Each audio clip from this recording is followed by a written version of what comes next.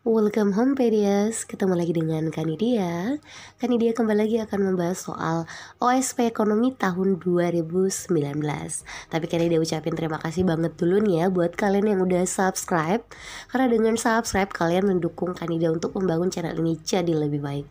Go go go. Langsung aja kita cek soalnya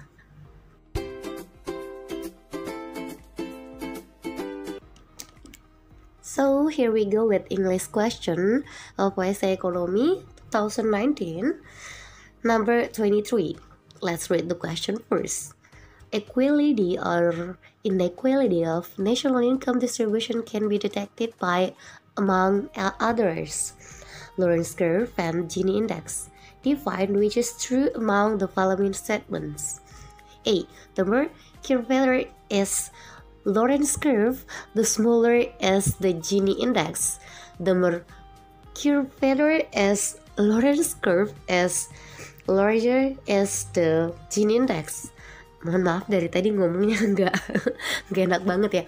Part C, the more curvature is Lorentz curve is the better is the income distribution. Part D, the larger is the Gini index, the better is the income distribution. And last part, Part E, the less curvature is Lorentz curve, the worse is the income the income distribution. Ya, nah, terlalu banyak is ya di soal ini. Nah, sebenarnya soalnya sangat-sangat mudah. Cuma memang dibuat dalam bahasa Inggris sekali lagi supaya kelihatannya jauh lebih horor. Kita artiin dulu ya. Jadi equality artinya apa nih?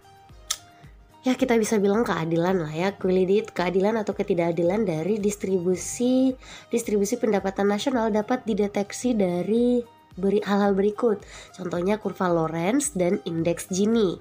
Nah katanya tentukan yang mana sih yang benar tentang statement di bawah ini. Nah sebelum melanjutkan ini dia kasih perkenalan dulu deh antara si dua kurva ini eh dua hal ini ya.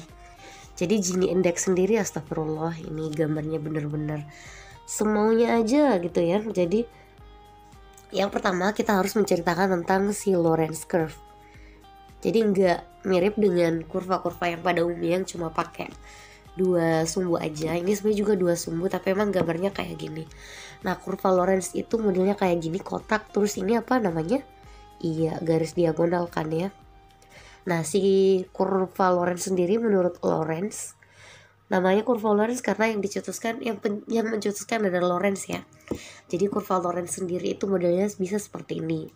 Nah emang e, dalam semua negara pasti punya kurva Lorenz yang seperti ini kak? Ya enggak. Jadi kurva Lorenz itu dibuat oleh Lorenz ingin menceritakan tentang bagaimana sih distribusi pendapatan pendapatan nasional dalam suatu negara. Jadi kalau kita cerita kurva Lorenz ini tentang distribusi pendapatan nasional ya. Nah, kurva Lorenz itu sendiri sebenarnya kita bisa bilang seperti ini aja ya.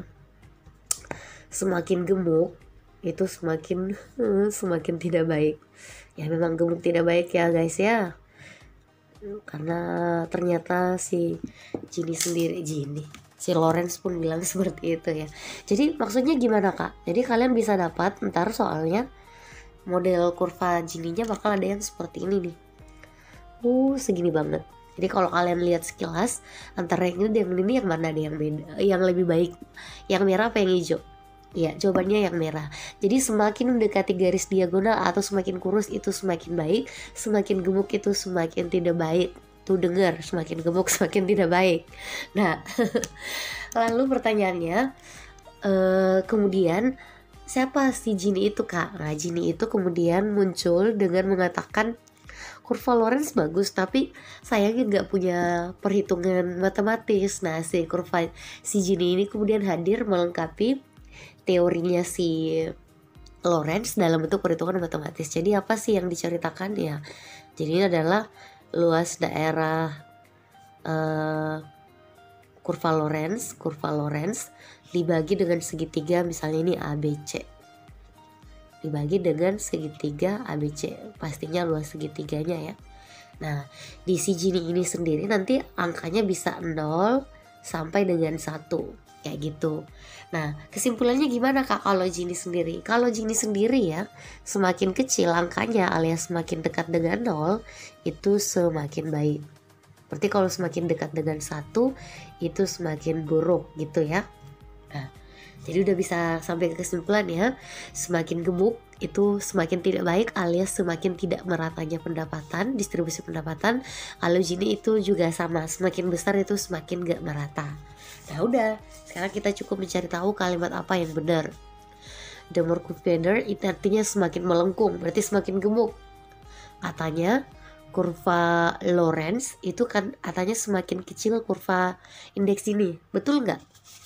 Ya, jadi kita bisa lihat aja sih ya.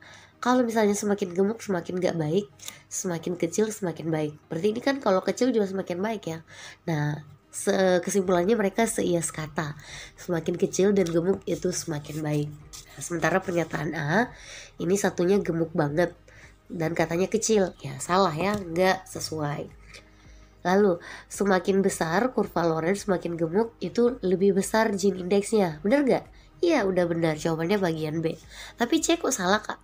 Semakin gemuk kurva Lorentz itu semakin baik. Wah ini salah tadi ya. Semakin besar kurva Gini semakin baik. Ih salah juga. Harusnya semakin kecil Semakin sedikit kurva semakin kecil ya Ini semakin kurus berarti ya Kurva Lorentz semakin buruk Waduh salah malah itu semakin baik Jadi emang udah bener banget Jawaban untuk nomor 23 OSP Ekonomi 2019 adalah part B Oke, semoga kalian paham. Sampai jumpa di video Kanide yang lain. Assalamualaikum. Tonton video Kanide yang lain juga ya.